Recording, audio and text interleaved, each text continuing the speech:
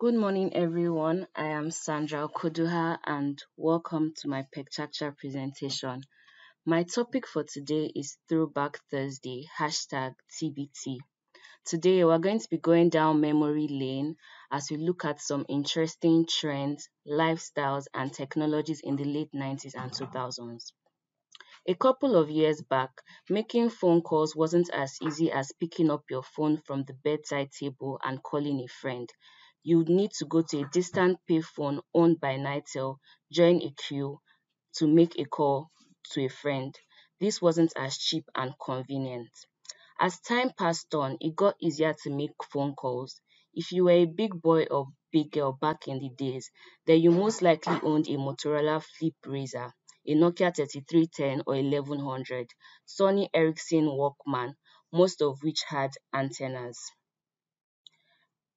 Kids of these days wouldn't understand what it meant for TV stations to close, that is, having a scrambled screen or a screen showing the colors of the rainbow. Aside from that, you may have also experienced your TV heating up or trying to adjust your antenna severally just to pick up signal. I know I experienced that.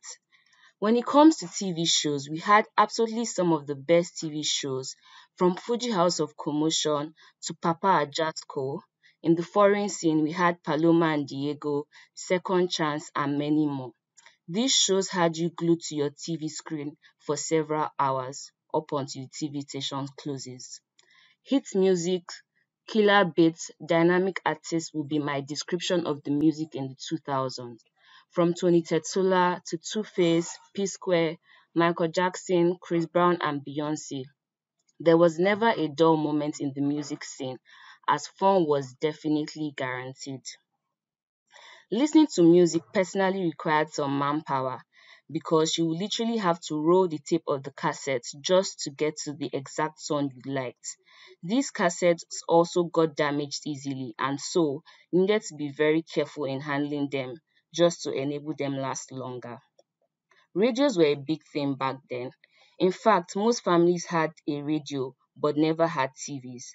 However, these radios were not as possible, portable as they make them these days, and so you hardly see people moving about with them as they were prized possessions for most families. If you think typing with a laptop is work, then you probably didn't experience typing with a typewriter. Talk about some tedious work. I actually learned to use a typewriter in secondary school. However, nothing prepares you for when you make a mistake and you have to start typing a document from scratch. Talk about disappointing. Imagine if we were using a Macintosh in our virtual trainings at D Brown. The CPU may heat up and the entire computer will go off.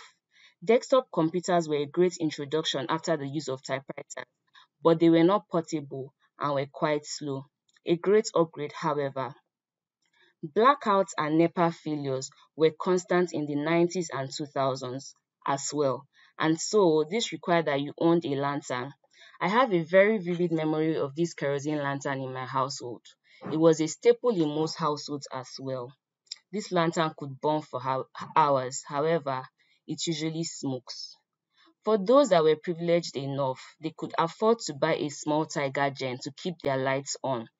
This brand of gen was so popular and common back in those days that I thought it was distributed for free by the Nigerian government. Well, I guess that is quite impossible. Another household staple was the kerosene stove. Cooking food was a long thing, if I may say. However, it was better than the firewood stove.